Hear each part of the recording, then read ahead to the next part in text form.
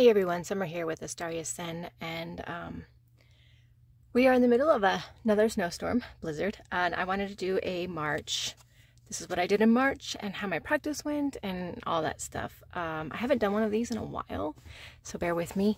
I'll just be working with what I've done in March. So I've been working with the uh, Enchanted Forest Tarot this month um, in doing like this little, um, I started the journal for it, but I'm doing um, little stories on my journey through the Enchanted Forest.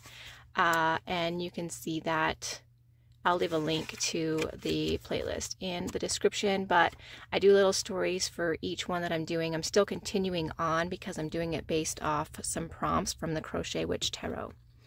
Um, and then I also went ahead and I have like my cards. This is my, um, oh my gosh, this is my like my book of shadows, but it's my spiritual journal. So I have all my cards for the year. And for March, I got the Nine of Swords. So what I went ahead and did is, um, where is it at? There we go right here. So what I went ahead and did is I talked about what I thought the month of March was going to bring me with the Nine of Swords. And then I went through a bunch of different decks and pulled out the Nine of Swords to really kind of go through them. And then I'm doing that again, of course, for April. Um, and then the books that I've been reading, I have been reading a book called, oh, sorry, I got to get on my Kindle to do this. Do, do, do. Let's see. Um, which one is it? It is this one right here, Judy Reeves.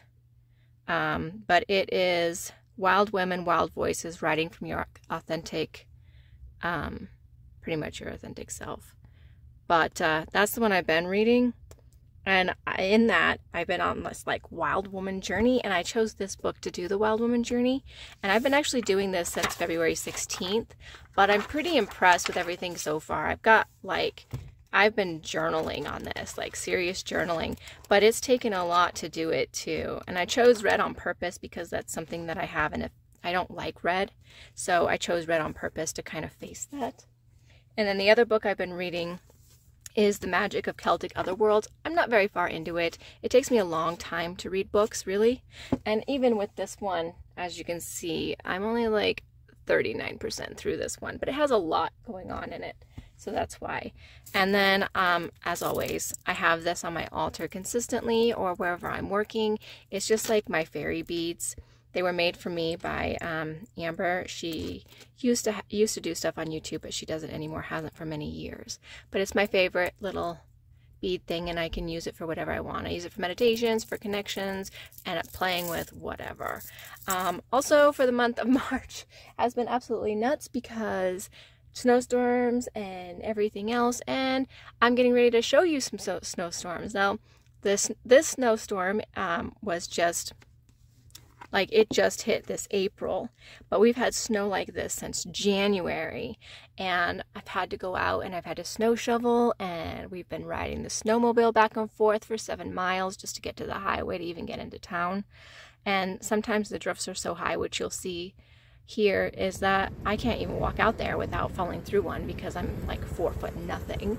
And when I go in a drift, I'm just in a drift but it's hard work out here and and it's been really rough. And then we've also learned uh, this month for March that Deuce is getting a lot older and he's having some troubles and he's not listening to uh, commands anymore. He's having panic attacks. There's just a lot going on, so we're trying to deal with that too.